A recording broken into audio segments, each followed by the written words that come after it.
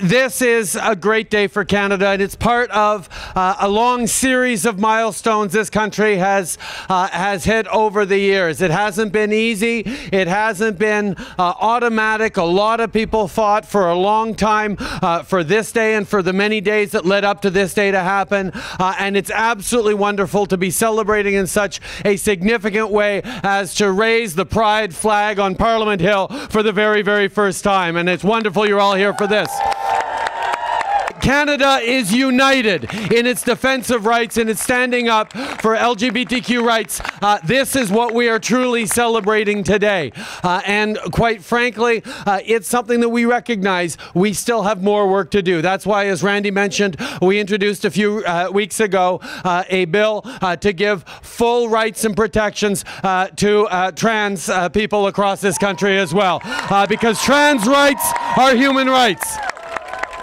Uh, Notre approche est toujours de comprendre euh, qu'on a du progrès à faire dans ce pays. Euh, on fait euh, énormément bien dans bien des sphères, mais il y a toujours du travail à faire. On peut toujours travailler pour une meilleure acceptation, meilleure ouverture, meilleur appui des gens qui nous entourent, des gens qui font face à de la discrimination, à du bullying, à des défis. Encore aujourd'hui, trop de jeunes dans leurs écoles secondaires font face à de la discrimination à cause euh, de leur identité sexuelle. Et nous avons encore énormément de travail à faire ici. En, euh, en montant ce drapeau aujourd'hui, on peut euh, aider à pousser cette, cette réalité d'acceptation, d'ouverture, d'amour pour son prochain ici au Canada. Eh bien, ce serait, ce serait une très bonne chose. I am so proud to be here today. I am so looking forward uh, to being the first Prime Minister to attend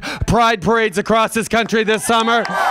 Um, I mean, it's not going to be my first time at all these pride parades, but the first time uh, for a prime minister, which is a wonderful step forward. Uh, but like I say, we have more work to do in the coming years, and I'm so glad to see so many people here to mark this moment and the many moments to come. Merci beaucoup tout le monde. Thank you very, very much.